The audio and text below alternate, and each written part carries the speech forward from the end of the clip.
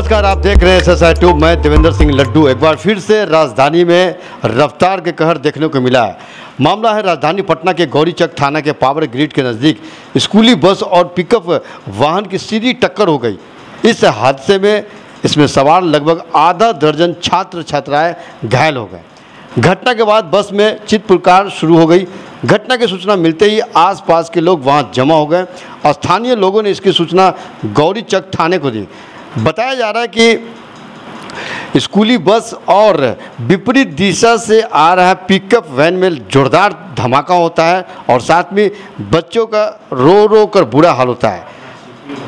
घटना के बारे में जानकारी गौरी के थाना क्षेत्र के सत्यम पब्लिक स्कूल की बस गुरुवार को स्कूली छात्र छात्राओं को लेकर स्कूल जा रही थी। इसी क्रम में पावर ग्रिड के नज़दीक तेज रफ्तार से विपरीत दिशा से आ रही पिकअप वाहन ने और नियंत्रित होकर बस में टक्कर मार दी।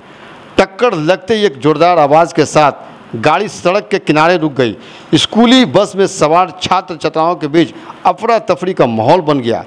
घटना की सूचना मिलते ही गौरीचक थानाध्यक्ष कृष्ण कुमार ने बताया कि इस हादसे में कुछ स्कूली छात्र छात्राओं को हल्की फुल्की चोट लगी है।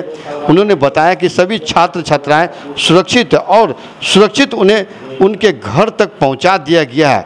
तो एक बार फिर से शासन प्रशासन के साथ मामला गौरी चक थाना क्षेत्र से आता है और रफ्तार का कर रुकने का नाम नहीं लिया जा रहा है। एस एस आई टू आप देखते रहिए। जय हिंद।